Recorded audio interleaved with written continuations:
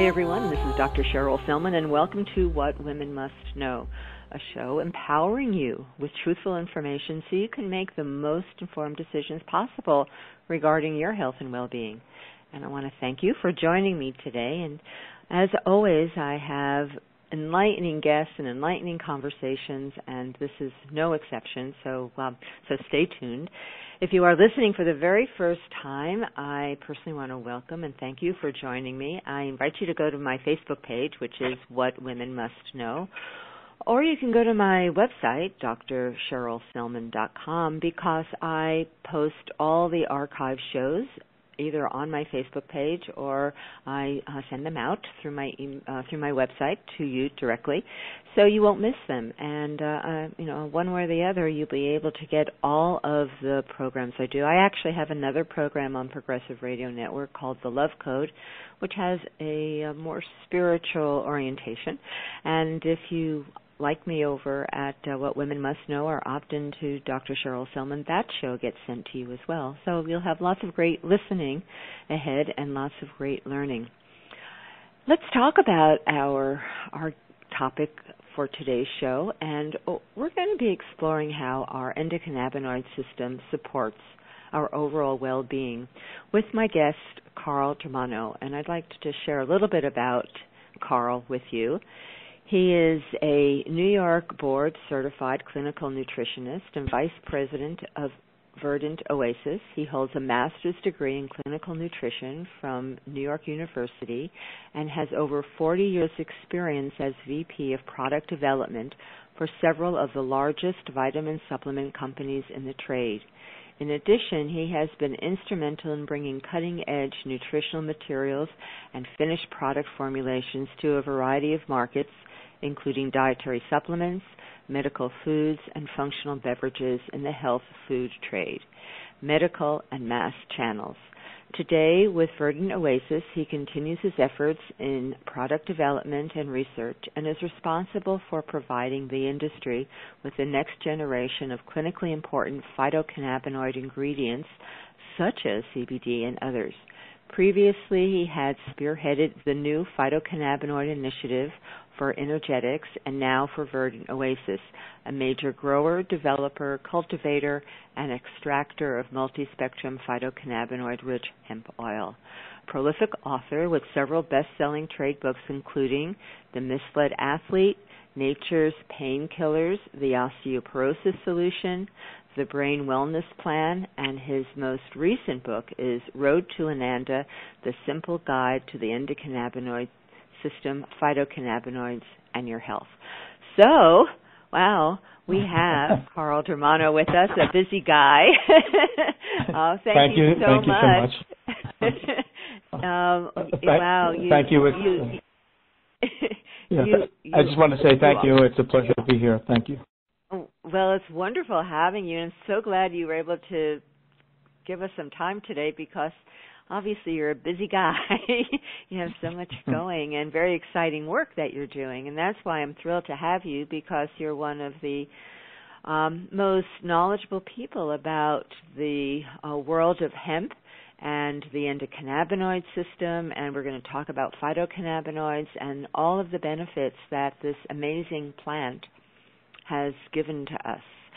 So, um, so Carl, let's just start. Um, I, would like to ask you, what is it that got you attracted to the world of hemp, the hemp plant, the endocannabinoid system, uh, and this whole exploding area that's really having such an impact to our, to, to many industries. Actually, has many, many facets of use.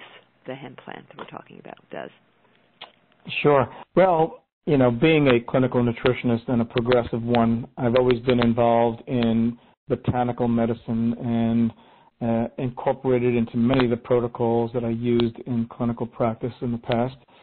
I've got to appreciate botanical medicine even furthermore uh, post my uh, master's degree. I, I, studied Chinese herbology and, and acupuncture and and um, got to truly understand and appreciate the major medicinal modalities that existed thousands of years ago, traditional Chinese medicine, Ayurvedic medicine, all talked about the potpourri of ingredients that you find in a plant collectively, how they are becoming most important to the clinical relevancy of what that plant does in the human body. And is no different here to probably one of the most important plants that we have called hemp.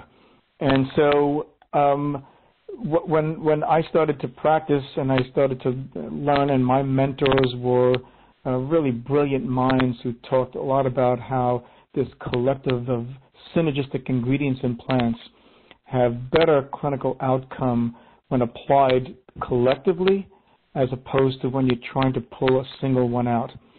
Uh, and this is similar to the story that has been evolving uh, over the past six, seven years, and the story about CBD, which to me is just very old news and a very myopic story because it just represents one of over 100 different cannabinoids found in hemp.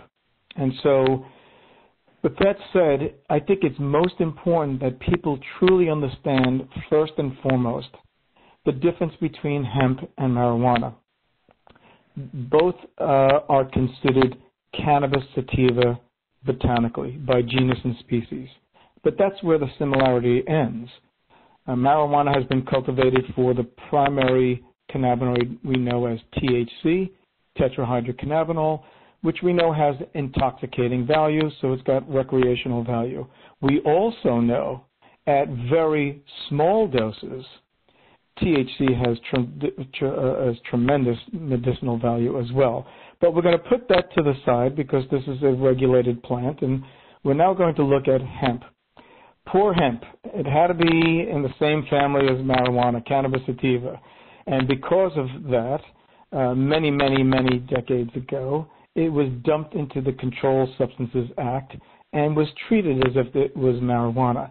But it has nothing at all in terms of its similarity to marijuana because from a chemical point of view, the major cannabinoid found in hemp is not intoxicating like THC.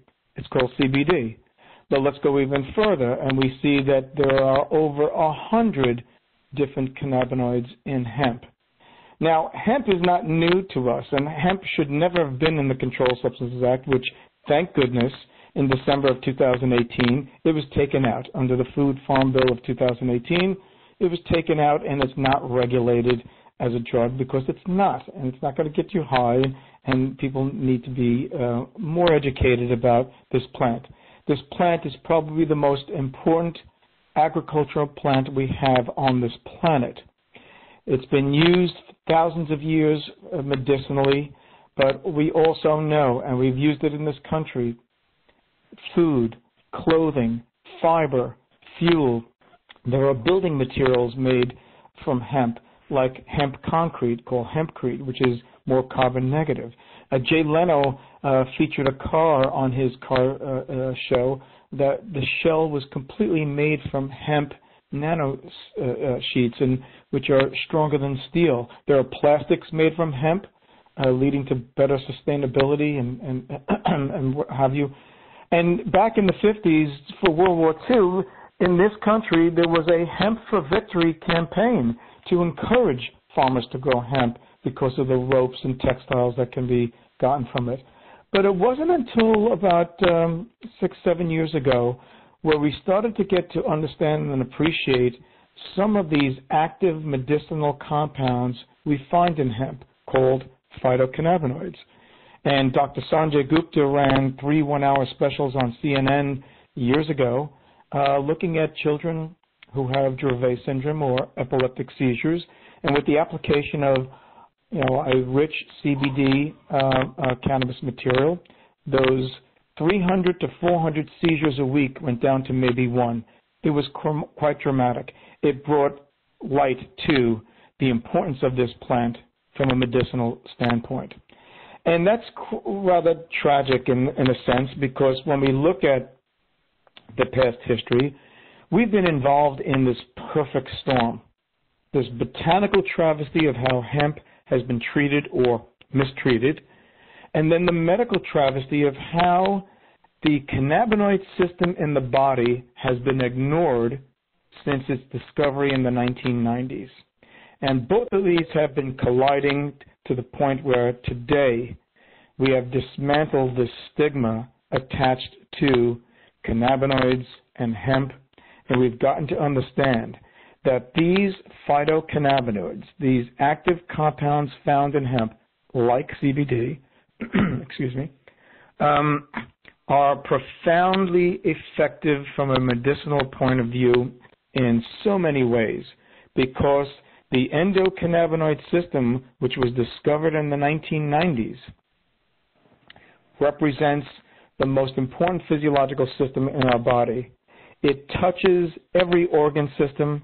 It modulates every function of every organ system. And from a global perspective, it's there to maintain health, well-being, and balance, what we know as homeostasis. Excuse me. Um, the brains behind the discovery, uh, Dr. Raphael Mechoulam out of Hebrew University in Jerusalem, uh, and his colleagues out of the National Institutes of Mental Health here, Devane, Howard, Herkenham, and others, these were your major players. And what we discovered in the 1990s is that we have receptors, these little windows on the cells of our bodies that let things in. These receptors that accept cannabinoids. And the first thing you have to ask yourself is, well, with these receptors found everywhere on every organ system, influencing its activity, the body must be making something to influence or target these receptors. And in the late 1990s, we discovered we actually produce two cannabinoids. That's right. I tell the world you're going to have to just get over it. You produce cannabinoids similar to cannabinoids found in cannabis, and your body feeds off of them. And when you don't produce enough, this cannabinoid deficiency state exists and is tied into many interesting illnesses, migraines, fibromyalgia, irritable bowel syndrome, inflammatory, neurological diseases. There are many of these conditions where we actually see low levels of the cannabinoids we produce. The two cannabinoids we produce, one is called anandamide, ananda from the Sanskrit word meaning bliss, because anandamide hits the same receptors that THC targets. And we know THC is intoxicating, anandamide is so much less so, but we know that anandamide absolutely affects mood, behavior, is involved in basically consciousness.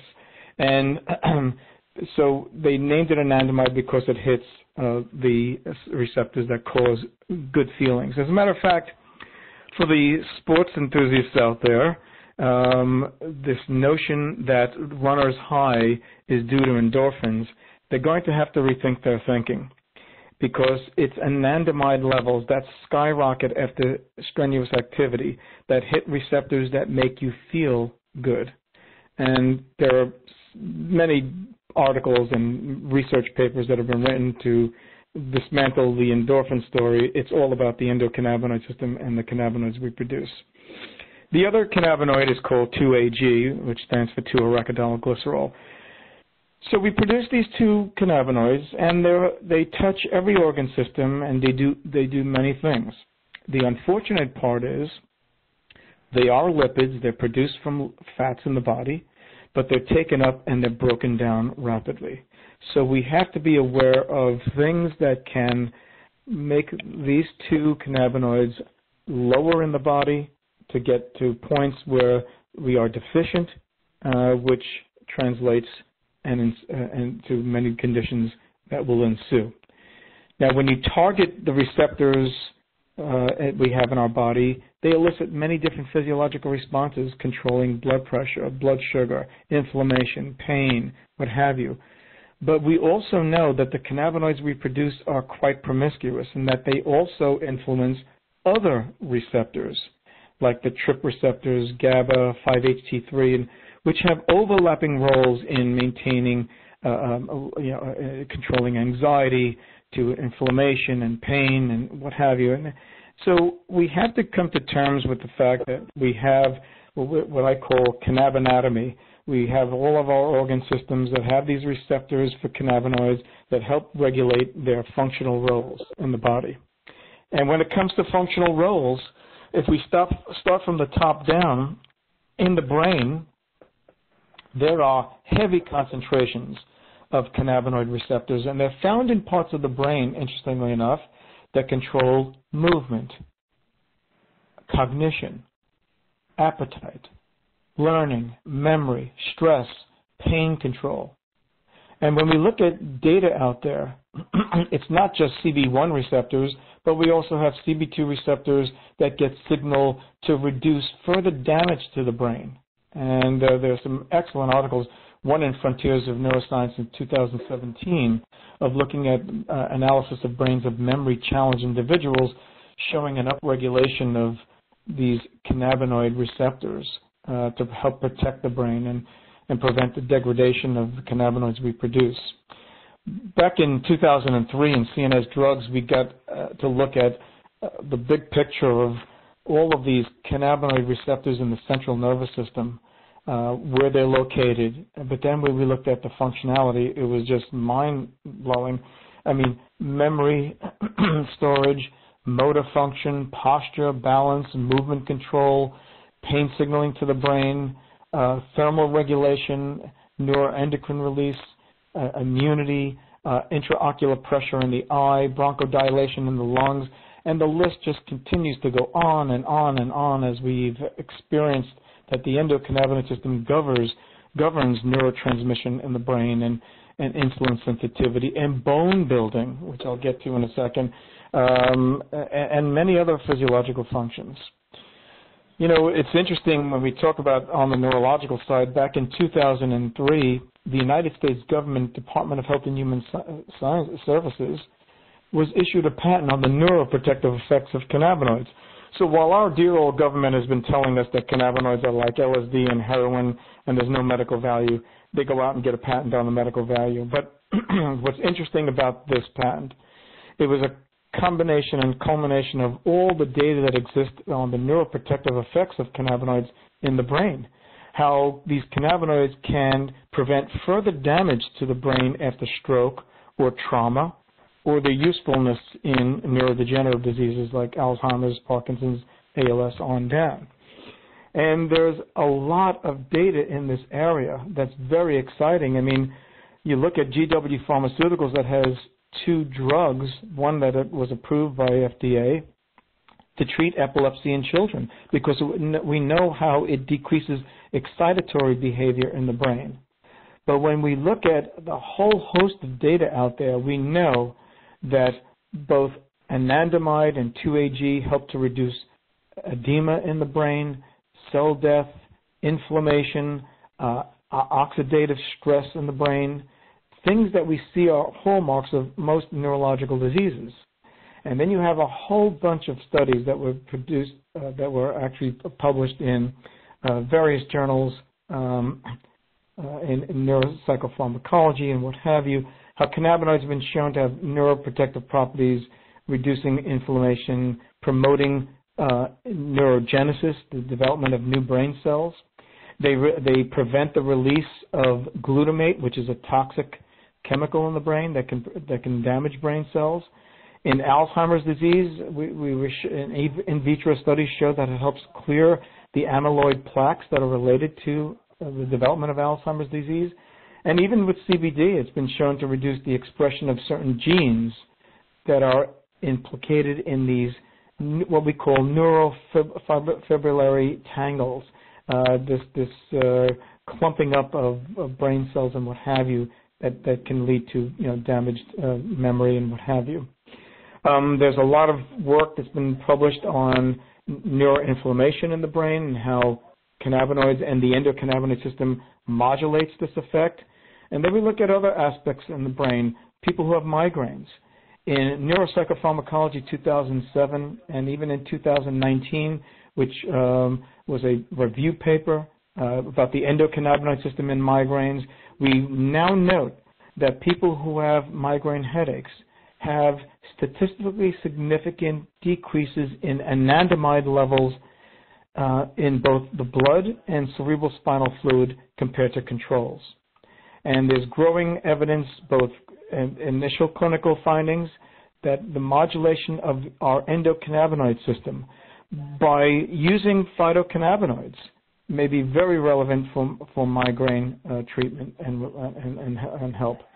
When it comes to stress and anxiety, there's a whole host of papers that show that it is well established that the endocannabinoid system plays a role in the regulation of stress response and in the, in the development of stress-induced psychiatric disorders. We know both anandamide and 2-AG help terminate the stress response in the body. And there was an interesting paper in, in Translational Psychiatry 2014 that looked at anandamide levels and how they can predict stress-induced anxiety. When they get too low, they become statistically significant, literally biological markers to show that stress is on its way when anandamide levels get too low. Um, so even in Journal of Basic Clinical Physiological Pharmacology in 2018 uh, showed us both preclinical and clinical data relating stress-related challenges that are associated with both neurotransmission in the brain and decreased endocannabinoid tone, which means decreased anandamide and 2-AG levels, the ones that we produce in our body. We see papers published in the literature to treat post-traumatic stress disorder. Uh, we know that the circulating levels of cannabinoids we produce are markedly decreased in PTSD. We, we see papers that where people who are administered stressful public speaking tests uh, given just CBD, how it treats their anxiety and what have you. But what we've been uh, un, what we've been able to un, uh, unravel was the fact that the endocannabinoid system can help um, reduce this fear, anxiety, and extinct aversive memories, and why it becomes so useful in post-traumatic stress disorder. There was one particular study in Biological Psychiatry 2019. It was a double-blind placebo-controlled trial looking at the use of, of compounds to help prevent the breakdown of our cannabinoids. Showed a tenfold increase in anandamide levels, which helped to protect against st- stress-induced negative uh, uh, uh, uh, fear, fear, emotions, and, and memories. So we know PTSD is just persistent uh, fear memories and maladaptive stress responses, and that's why it's been so helpful. when it comes to inflammation, if you think curcumin, boswellia, fish oils, and quercetin are good anti-inflammatory nutrients, which they are, they enter the pathways, well, they will have to contend with the endocannabinoid system because the endocannabinoid system is the system that controls and modulates all of the pathways involved in inflammation and pain. And there was a great paper in Current Opinions in Clinical Nutrition and Metabolic Care back in 2014, the endocannabinoid system, how it's an emerging player, key player in inflammation. But then it went on and back and, and up until 2019, two papers, interestingly enough, produced in Advances in Pharmacology and Neuropsychopharmacology, looking at endocannabinoids, their pain sites, their mechanism of action, and we've got to understand and appreciate the analgesic and anti-inflammatory effects that the cannabinoids have in, in our body. when we come to this wonderful gut-brain immune connection that everyone has been talking about over the past 10 years, well, about 30 years ago, my first book, The Brain Wellness Plan, I had a whole chapter on the gut-brain immune connection, and that's how important it was we know that this tri-directional communication between the brain, the gut, and the immune system to keep the whole body healthy. We understand the brain pushes out neurotransmitters to talk to the immune system and the gut. We know the immune system pushes out immunotransmitters that talks to the brain and the gut. Then we have the gut, which we traditionally have always thought was an organ of digestion, but got to truly appreciate the fact that it's littered with hundreds of millions of immune cells because it's our largest immune organ, and rightfully so. We keep dumping in pathogens and toxins every single day when we eat, and that gut has to recognize friend from foe and whether or not to launch an attack or not.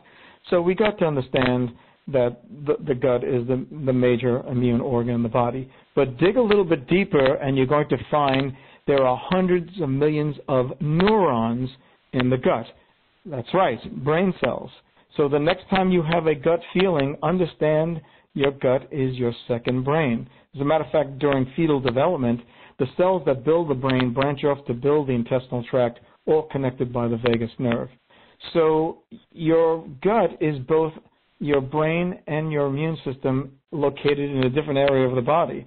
And we must keep that healthy in order to control the rest of the body. Now, what does this have to do with the cannabinoid system in the body? Well, in gastroenterology back in 2016, there was a great paper, The Role of the Endocannabinoid System in the Brain Gut Axis. We now know the endocannabinoid system controls the motility of the gut, uh, intestinal inflammation. It helps link the stress and abdominal pain. It reduces the activity of the stress pathways, like the HPA pathways. And so there have been a lot of interesting papers produced in the Proceedings of the National Academy of Sciences in 2017 how anandamide plays pivotal roles in maintaining immunological health in the gut, and how the endocannabinoid system controls inflammation and disruptions in permeability. And so we've always known that the endocannabinoid system controls gastric secretions, contractibility, uh, signaling in the uh, in the gut, and, and on and on and on. And then they've uncovered this beautiful relationship between the endocannabinoid system and the microbiome. There is extensive research linking the endocannabinoids in the in intestinal health with the intestinal microbiome, your, probi- your probiotics and what have you, healthy bacteria. And that when you dysregulate the endocannabinoid system, it can lead to inflammatory conditions of the intestinal tract, like inflammatory bowel disease. And so there's a lot going on in this area as well. The last two areas I want to hit before we actually talk about hemp and why we need to take hemp is the area of bone health. Now, we know and appreciate that calcium, magnesium, vitamin D, menaquinone 7, boron, and a couple of accessory nutrients are all important for the health structurally of hard bone. But what do we look to do in postmenopausal women that we give these nutrients to and they still lose bone mass? What we've got to appreciate over the years, uh, of the decades actually, is the role of hormones that affect cells that build up and break down bone from the day we're born to the day we die.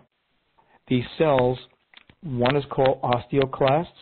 These are cells that break down bone and the other are called osteoblasts, cells that build up bone.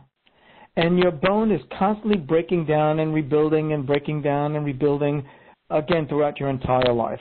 And it's the role of osteoclasts that break down bone uh, and then the osteoblasts to rebuild those bones. Now, as we get older, and especially for women postmenopausal, when estrogen levels drop, the level of osteoblasts that build up bone starts to dramatically decrease and the level of osteoclasts that build up, uh, that break down bone increase. And so we have to deal with those two types of cells in addition to the structural components of bone like calcium, magnesium, vitamin D, menaquinone 7, on and on and on.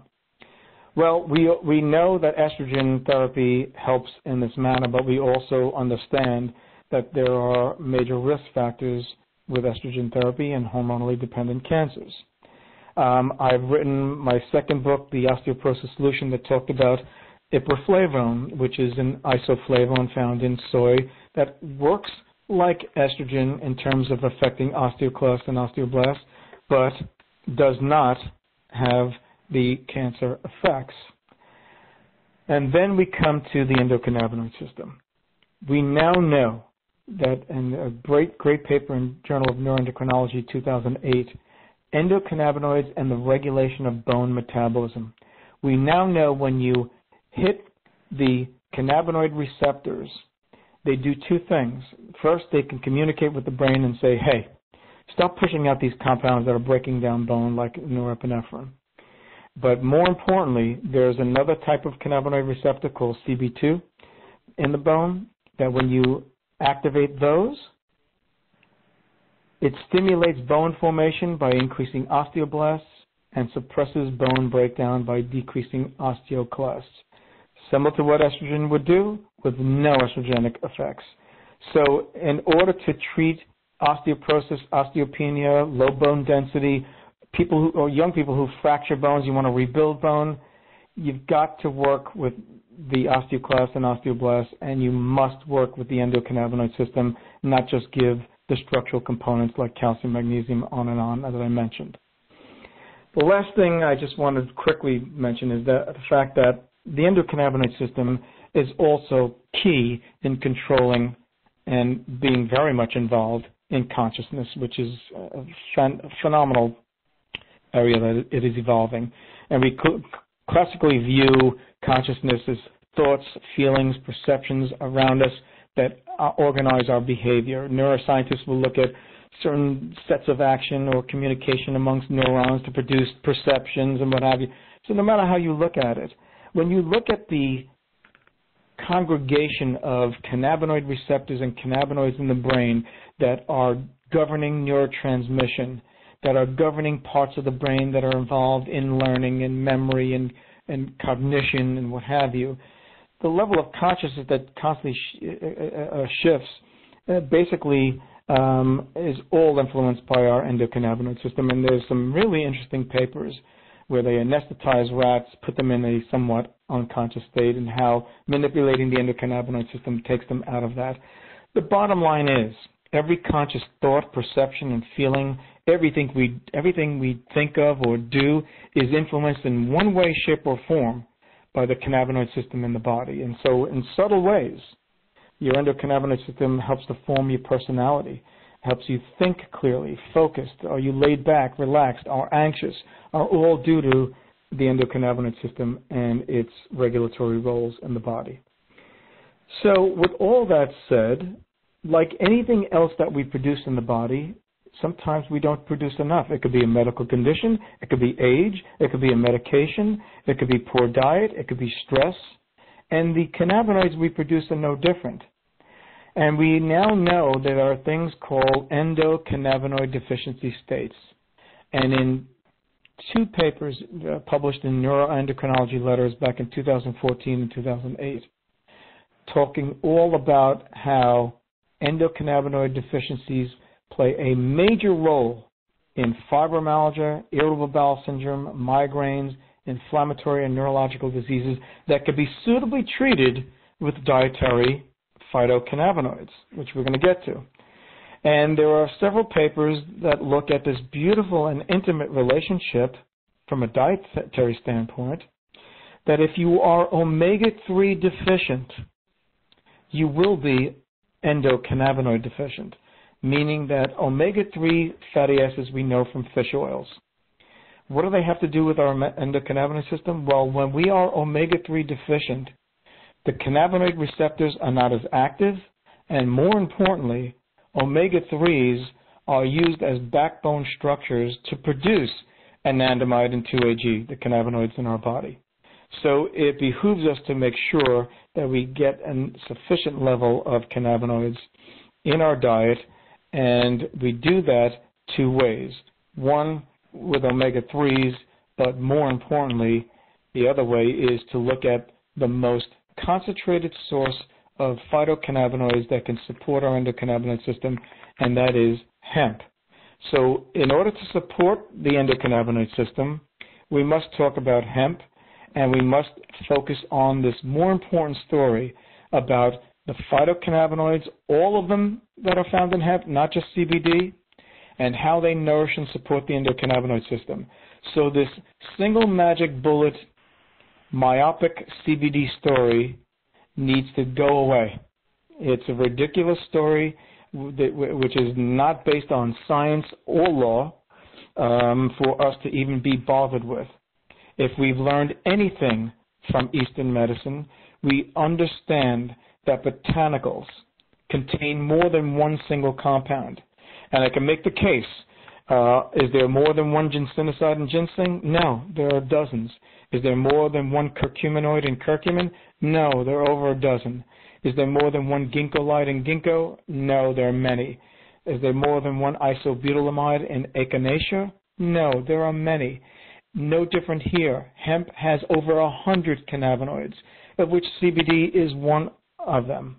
At the top of the list, the cannabinoid that acts like a stem cell in hemp, from which all other cannabinoids are made, is called cannabigerol or CBG. I go down the list and there's an important cannabinoid called beta caryophyllene, which attaches to cannabinoid receptors that CBD does not. And so we have to understand and appreciate hemp as a botanical plant and its complete class of phytocannabinoid compounds of being the most important story to be told. And that in terms of clinical efficacy, if you want to benefit from hemp and nourish and support the endocannabinoid system, you must take in the full family of phytocannabinoids because CBD alone cannot support the endocannabinoid system by itself. And so we must stay away from these characters who are trying to follow the coattails of GW Pharmaceuticals, who bring, brought light to CBD and epilepsy, and so did CNN, and right away the money signs, and everybody was just focus, focusing on CBD. Completely an ignorant viewpoint of the importance behind this plant, which then brings us to what do you look for in the marketplace? And while CBD is a single magic bullet, we now know the literature will show that CBD on its own compared to what we call full spectrum plant, whole plant extracts do not compare from clinical outcome standpoint. As a matter of fact, whole spectrum out, uh, uh, uh, whole spectrum uh, plant extracts uh, fare much better in terms of clinical outcome, and they don't have this dose response curve that single magic bullet CBD has. That if you give too much, it starts to lose its effectiveness. You don't see that with the full plant spectrum material. And this was beautifully written about in the British Journal of Pharmacology in August of 2011 by Dr. Ethan Russo that talked about the entourage effect, the sum being greater than the parts, and he was referring specifically to all of the phytocannabinoids and plant compounds that have this synergism to give rise to its full meaningful benefits in the human body. And so for that reason, I tell people that we need to look at a number of things when you're looking to benefit from a hemp uh, material. You're going to look uh, for products that have full spectrum. You're going to look at products where you can actually ask for the strains of hemp that they've been using. And the reason why I focus on this is because the, in the United States, we've been in the, in the Stone Ages for the past 80 to 100 years. We've locked up hemp and we couldn't commercialize it, cultivate it, or consume it for that long. Whereas in Europe and Israel, thank God for them, uh, it's been the complete opposite.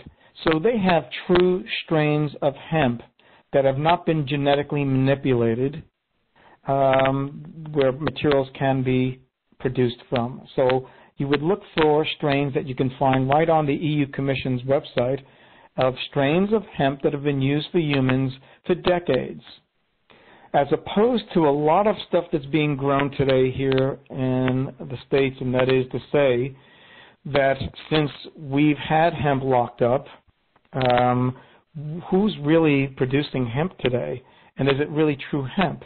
And the answer to that is 100% no. Most of the hemp grown today, they call it hemp, but it is nothing more than a marijuana hybrid. To get CBD levels up, uh, you marry marijuana with hemp, and you produce these strains that they are calling hemp, which both in USDA's eyes and FDA's eyes uh, cannot be justified. These, this is not what hemp looked uh, like hundreds to thousands of years ago. And by the way, people need to understand these are genetically manipulated. So you want to find out what strains were used and whether those strains have been used in humans uh, for decades. The second thing you want to be is is, is organic. Um, you, you, we now know that the marijuana industry is plagued by pesticides and herbicides. It's not going to be much different here. So you're looking for organic. You're looking for non-GMO, which is going to be another thing that plagues growth here in the United States, whereas in Europe, GMO in a lot of countries is banned. Uh, kosher certified would be nice. You would also want third-party independent assays to test for purity and potency. So you want to see the chromatogram to make sure that they're not using a marijuana hybrid because you could look at certain things and tell whether or not they used marijuana. You want to look at the pesticides and herbicide values. You want to look at heavy metals. You want to look at micro, microbial contamination. You want to look at um, whether or not it has solvent residues. Uh, a lot of the marijuana hybrid people are using solvents uh, to get the THC down, and there's going to be residues there. So these are the things that we tell people to look for and ask for because it's not necessarily going to be on the bottle, but you should demand it from companies. To give you an affidavit of the strains being used, an affidavit that they've been used in humans before, for decades, uh, third-party assays, a full chromatogram on the oil uh, that's been used to make the product, um, full third-party assays for pesticides, herbicides, heavy metals, and uh, microbial contamination, a non-GMO statement, and an organic statement once you get that, you're in good position. And I only tell people to do this homework because right now the laws have not been written yet. We know that the government is, uh, uh, especially the FDA, is asking for comments and what have you, and has not come out with rules and regulations. And so we're not completely protected out there as consumers. And I, I say consumer beware situation unless you ask for these documents that you can discern between A, whether or not you're getting true hemp or some genetically manipulated plant, or B, is it a clean plant? Is it free of uh, pesticides and herbicides and heavy metals and microbial contamination? Is it non-GMO? Is it organic? And then and only then can you make an educated decision. wow. well, that's a really comprehensive overview of the whole story. Well, Carl, you've done such amazing work in this field for so long, and um, just have covered Thank such you. important points. I, I, I have. Um, uh, let's just review um, because you've given us so much information. So, first of all, the endocannabinoid system, which really has is relatively new in its discovery, which is quite amazing that such a fundamental system in our body was only discovered in the 1990s, considering its wide, you know, wide widespread application in all facets of our health. Isn't that amazing? Right. That we never knew it even existed. We're, you know, trying to find understand the other systems of our body, but the main coordinating system that regulates all the other systems was never even identified, didn't even know it existed until the 1990s, it, which Right, and, and, it's both a tragedy and a travesty, and the reason being is because of the stigma attached to cannabinoids. So how can the government tell you, oh, you know, cannabinoids are like LSD and heroin have no medical value. Oh, and by the way, you produce them in the body and your body feeds off of them. You couldn't tell that story. But the travesty and tragedy is the way it hampered education. I mean, this is a physiological system that's been in our body since the beginning of time, and you're telling me it's not taught in high school. It's not taught in college. It's not taught in practitioner school. This is mind-boggling. This is like me telling you, you know what? For the next 80 years, we're not going to teach the the uh, cardiovascular system as if it never existed. I mean, it's it's beyond mind-boggling, but slowly but surely, it's being dismantled because of the stigma.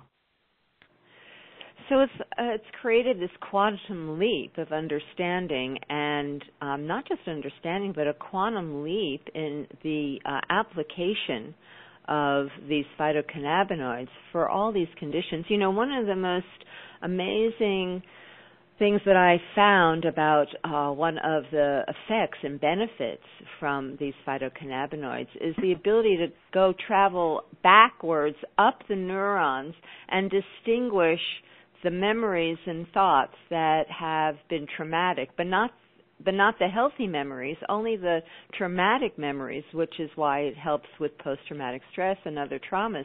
Uh, that's that's yeah. unbelievable, right? Isn't that yeah. that's just so phenomenal? Yeah, they're, they're called um, retrograde neurotransmitters. So anandamide and 2-AG, the cannabinoids we produce, they kind of sit in the back, and then when things get out of control, they go from the what we call post-synaptic neuron, the, the, the brain cell that's getting the information, and they jump to the presynaptic neuron to say, hey, enough. They are controlling in that way. So unlike neurotransmitters that go in one direction uh, from the presynaptic neuron to the postsynaptic neuron, these neurotransmitters go from the postsynaptic neuron to the pre to control things, and, and that's a good thing because it's not just aversive memories they're extincting, they're controlling uh, the release of further damaging uh, co- compounds like glutamate from going uh, down the line, or the excitatory uh, uh, neurotransmitters that are causing anxiousness and what have you. So they're more regulatory, which is a good thing. So, uh, so the uh, question that I have for you is: uh, so this endocannabinoid system is uh, so fundamental in maintaining balance and harmony in all the other systems of our body. Um, what else can support a healthy endocannabinoid system? That's the first part of my question. And what are the conditions that actually deplete our endocannabinoid system? Right.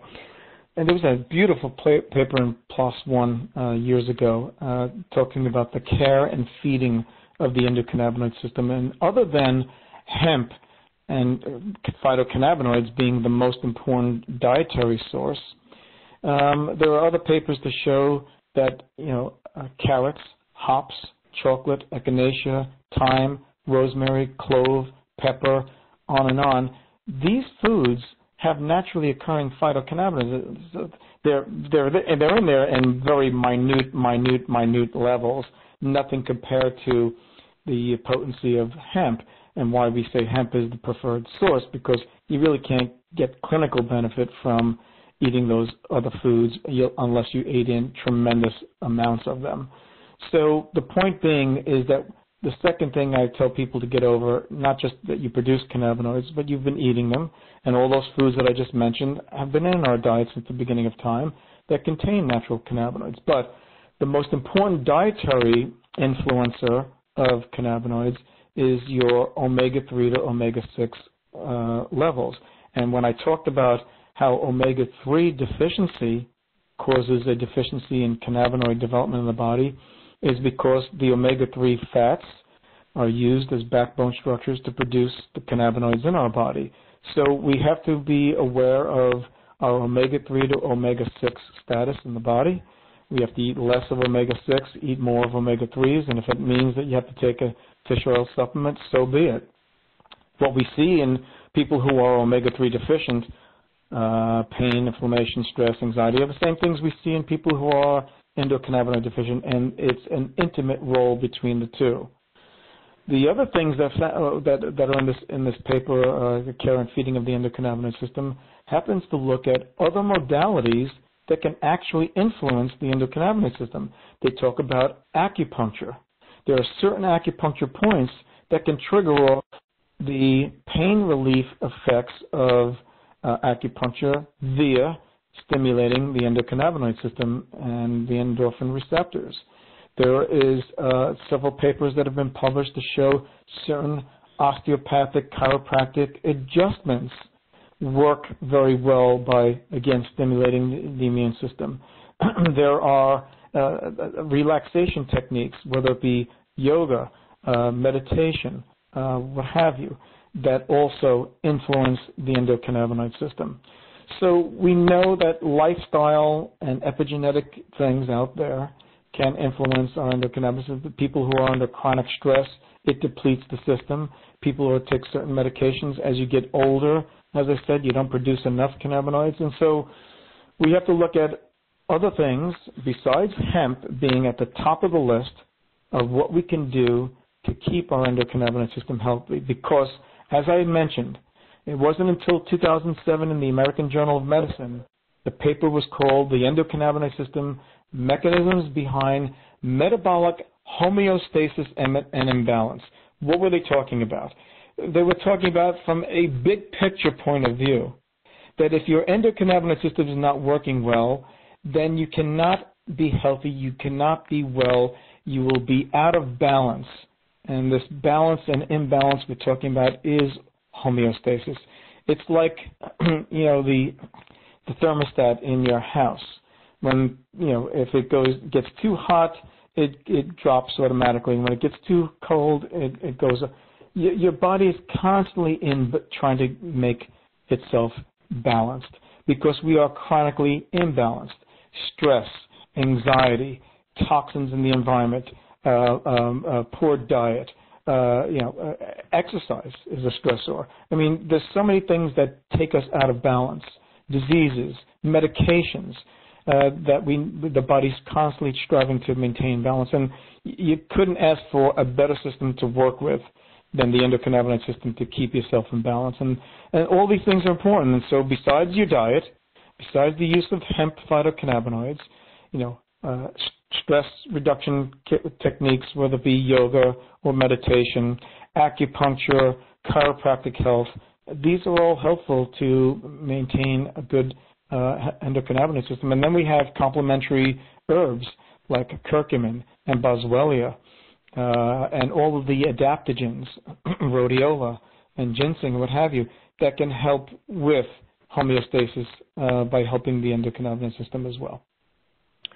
Well, that's great information. Okay, we have just a, a few minutes left. So one of the questions that I uh, there's one question, just real, real quick. You talked about the need for omega-3 with fish oils. So what do you say to people who um, shy away from fish oils? They're vegans or vegetarians and they don't like their fish oils. What do you say to them? Yeah, I I feel sorry for them.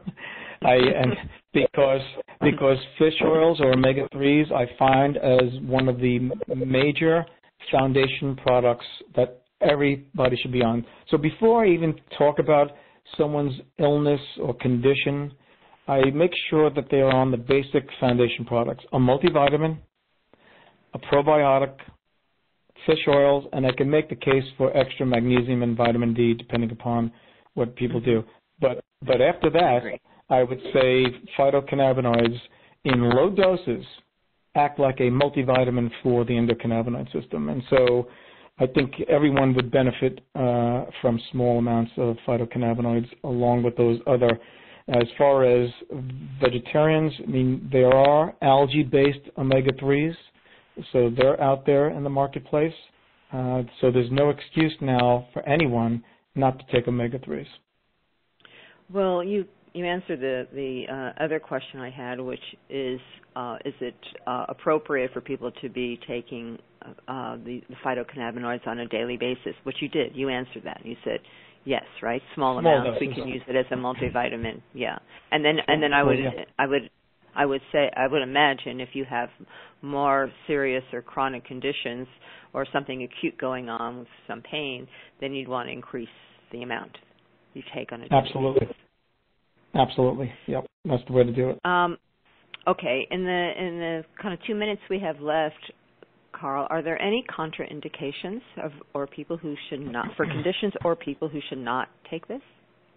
Okay. You know so I'm going to yes. So I'm going to answer this with a caveat, and I'm going to talk about these issues when you take high doses of CBD, over 100 milligrams and more, which to me is completely unnecessary, but it's out there and people play these number games and, and you don't mm. need yeah. you don't need anywhere near that amount. But for people who are taking over 50 to 100 milligrams, you have to understand that uh, CBD and phytocannabinoids can influence the liver, just like a lot of nutrients we have in our marketplace.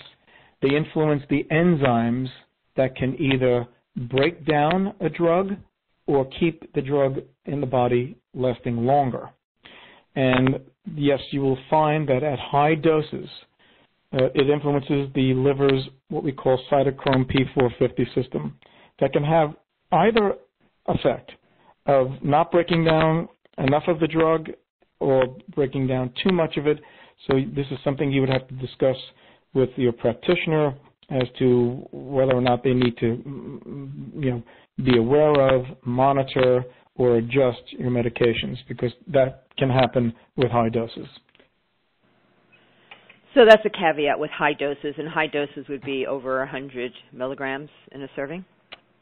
Yeah, I would say, and if, for people who are on certain medications, even at 50 milligrams on up, I would say just discuss it with the doctors.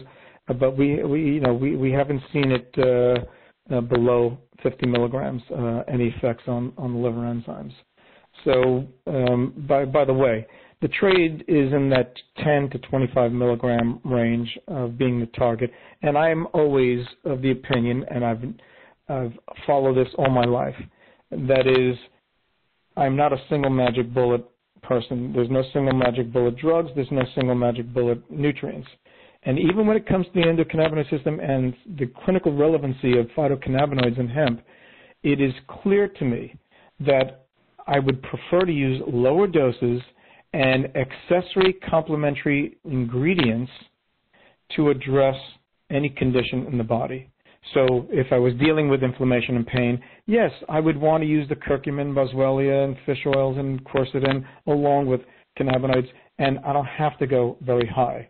If I'm dealing with anxiety, yes, I can use L-theanine, I can use uh, lavender and chamomile and uh, 5-HT. I mean, there's so many things you can use as a complement to phytocannabinoids where you don't have to go at very high doses to have that effect. And it's true of anything when you get at high doses. They're going to have negative effects.